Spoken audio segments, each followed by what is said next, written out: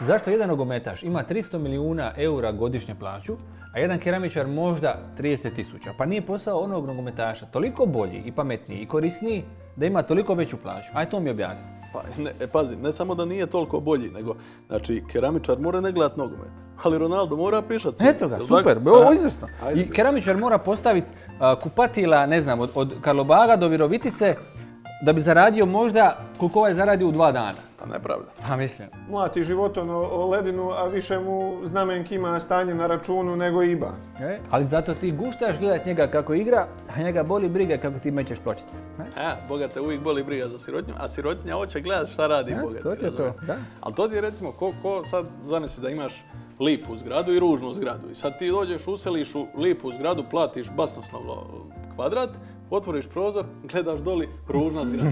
A dođeš u ružnu zgradu, platiš nešto bez veze, malo kvadrat, otvoriš prozor, ono, lipa zgrada. Super, super. Ako viš da društvo valja, pa ne bi ti bira boju svoje fasade, nego hej, susjed, bo- ženo susjedova, dođi, ton karta, izaberi boju moje fasade, ti ćeš je gledat, neću ja. Tako je, razumiješ? izvrsno. I obrnuto, kad vi budete radili lipo, vratite, zovite me i to je to, ja ću izabrat boju.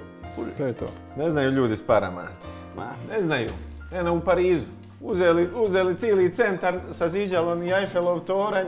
Željezo bala skupo, da bar ono razmontiraju sad pa prodaju, obogatili bi se.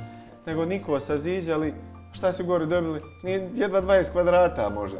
Pa ne mora ono studentu za 200 eura iznajmiti kapak 200. I najgore od svega, taj student nema pogled na Eiffelov toranj. Studentske Strašno. brige. Strašno.